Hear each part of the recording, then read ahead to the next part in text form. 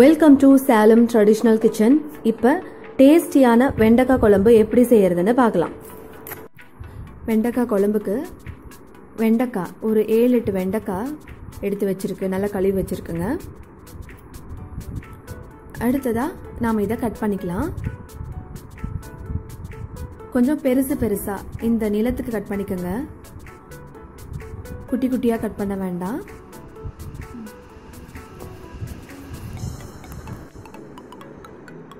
எல்லா வெண்டைக்காயும் கட் பண்ணியாச்சுங்க. நம்ம என்னென்ன பொருள் வேணுன்றது பார்த்துடலாம் ஒரு பெரிய வெங்காயம் இந்த மாதிரி கட் பண்ணிக்கோங்க. தேங்காய் துருவல் கொஞ்சமாக ஒரு பெரிய தக்காளி ஆரப்பல் பூண்டு சின்னதாக இஞ்சி துண்டு நாலு கிராம்பு ரெண்டு சின்ன துண்டுகளாக பட்டை ஒரு ஸ்பூன் கசகசா. புளி தண்ணி கொஞ்சமாக ஒரு சின்ன நெல்லிக்காய் அளவு இருந்தால் போதும்.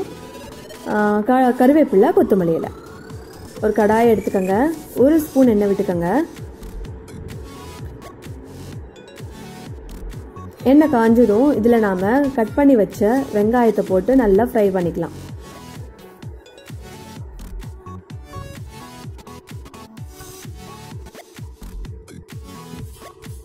இந்த குழம்பு ரொம்ப டேஸ்ட்டாக இருக்கும். ரைஸோட சாப்பிட சூப்பராக இருக்குங்க. பாருங்க ஓரளவு கலர் சேஞ்ச் ஆயிடுச்சு வெங்காயம். இப்போ இதோட நாம் எடுத்து வச்ச தேங்காய் துருவில் சேர்த்து நல்லா ஃப்ரை பண்ணிக்கலாம்.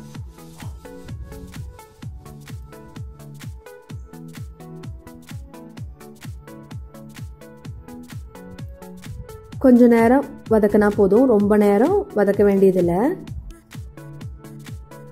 பாருங்க ஆயிடுச்சு. போதும் ஆஃப் பண்ணிடலாம் அடுப்பை. ஆறின பிறகு எடுத்து ஒரு மிக்சியில் போட்டு நம்ம அரைச்சிக்கலாம்.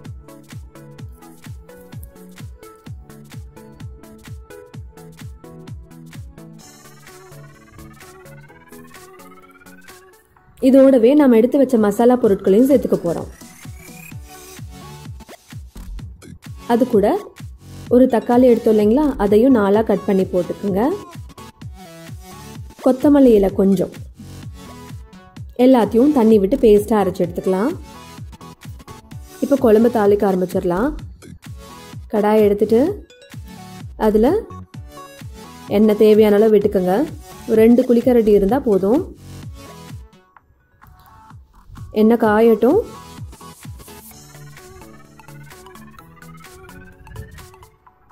எண்ணெய் காஞ்ச பிறகு இதில் நாம் ஒரு ஸ்பூன் கடலைப்பருப்பு ஒரு ஸ்பூன் உளுத்தம்பருப்பு போட்டு ஃப்ரை பண்ணணும்.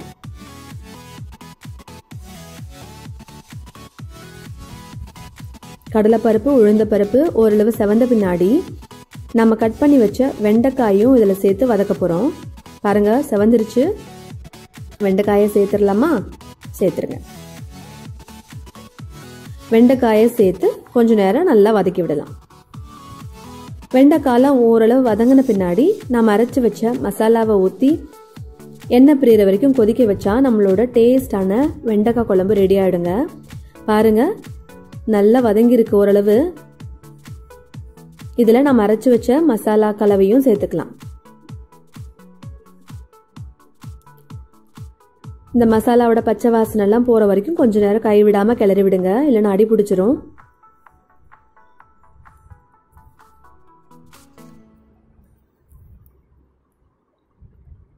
கொஞ்ச நேரம் கலந்து விட்டுட்டு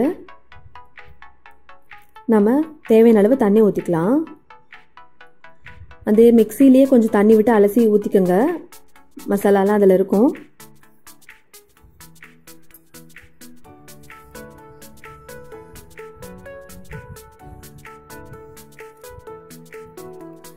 கருவேப்பிலையே கிள்ளி போட்டுக்கோங்க. கொத்தமல்லியில் எல்லாத்தையும் கிள்ளி போட்டாச்சு.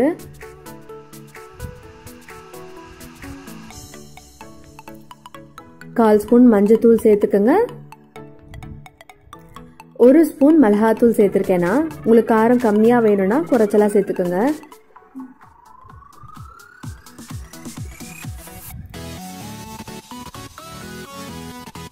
புளி கரைசல் நம்ம எடுத்து வச்சோம் இல்லைங்களா புளி கரண்டியில் ரெண்டு கரண்டி விடுங்க போதும்.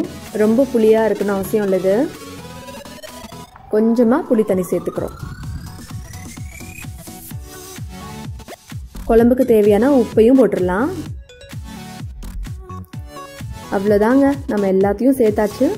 இது நல்லா கொதிச்சு எண்ணெய் பிரிஞ்சு வர வரைக்கும் அப்படியே அடுப்புலேயே வச்சுருக்கலாம். அப்பப்போ இடையில கிளறி விட்டுக்கோங்க. பாருங்க கொஞ்ச நேரம் கழிச்சு எப்படி எண்ணெய்லாம் மேலே பிரிஞ்சு வந்திருக்குன்னு. குழம்பு ரெடி ஆயிடுச்சு. நாம் இதில் கொத்தமல்லி தலையை தூவி இறக்கிடலாம். நல்லா வாசனையாக இருக்கும். இதை நீங்கள் சாதத்தோடு சாப்பிட ரொம்ப டேஸ்ட்டாக இருக்கும். ட்ரை பண்ணி பாருங்கள் இந்த வீடியோ உங்களுக்கு பிடிச்சிருந்ததுன்னா லைக் பண்ணுங்கள் ஷேர் பண்ணுங்கள் மறக்காமல் சப்ஸ்கிரைப் பண்ணுங்கள் கமெண்ட்டும் பண்ணுங்கள்